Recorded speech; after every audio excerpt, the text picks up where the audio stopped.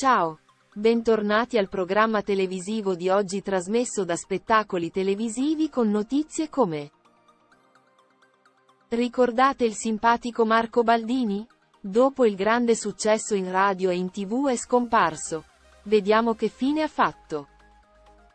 È un po' di tempo che non si vede più in giro Marco Baldini.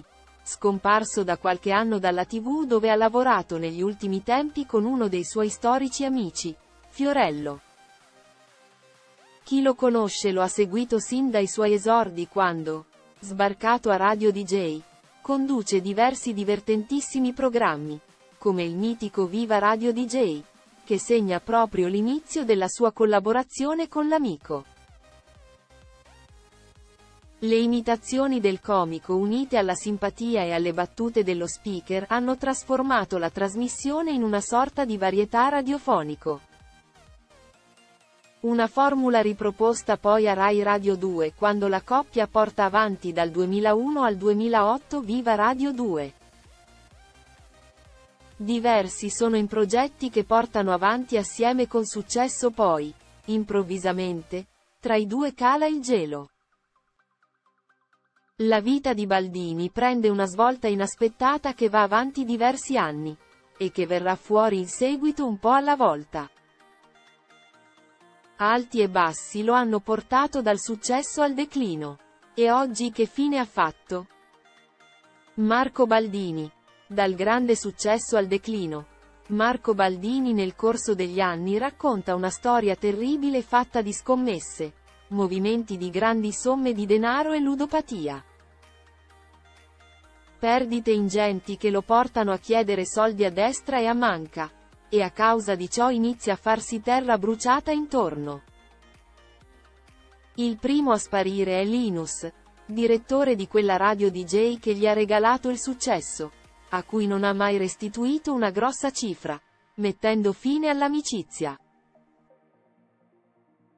Come finisce la grande amicizia con Fiorello? dopo che viene fuori un'intercettazione in cui Baldini ne parla malissimo. Una vita distrutta. Come ammetterà poi alla confessione. Ho guadagnato più di 10 milioni di euro. Ma a causa del vizio per il gioco, i soldi li ho sempre visti passare. Non ho più niente. Una volta ho perso 40 milioni di lire puntando sul ronzino sbagliato. Sono andato ad un passo dal suicidio. Ero sfinito da un certo tipo di vita. E oggi? Marco Baldini un paio di anni fa ha confessato una verità diversa che ha spiazzato tutti. Ai microfoni del podcast One More Time ha svelato.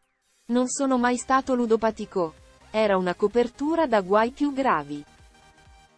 Ero finito in un giro di malavita. Così viene fuori che ha fatto grossi investimenti immobiliari finendo invischiato con persone che riciclavano denaro. E perdendo tutto. Oggi sta cercando di rimettersi in piedi e deve molto alla nuova compagna Aurora, di 27 anni più giovane, che nel 2020, a 61 anni, lo ha reso padre per la prima volta, del piccolo Leonardo. Recentemente sui social ha fatto capire che potrebbe tornare presto in per un nuovo progetto. Ma ancora non sappiamo nulla. Nel frattempo si dedica alla famiglia. Grazie per aver guardato l'intero video. La notizia è qui per finire. Mettete mi piace e commentate. In particolare cliccate iscriviti al canale. Per ricevere le ultime notizie. Ciao e ci vediamo nei prossimi video.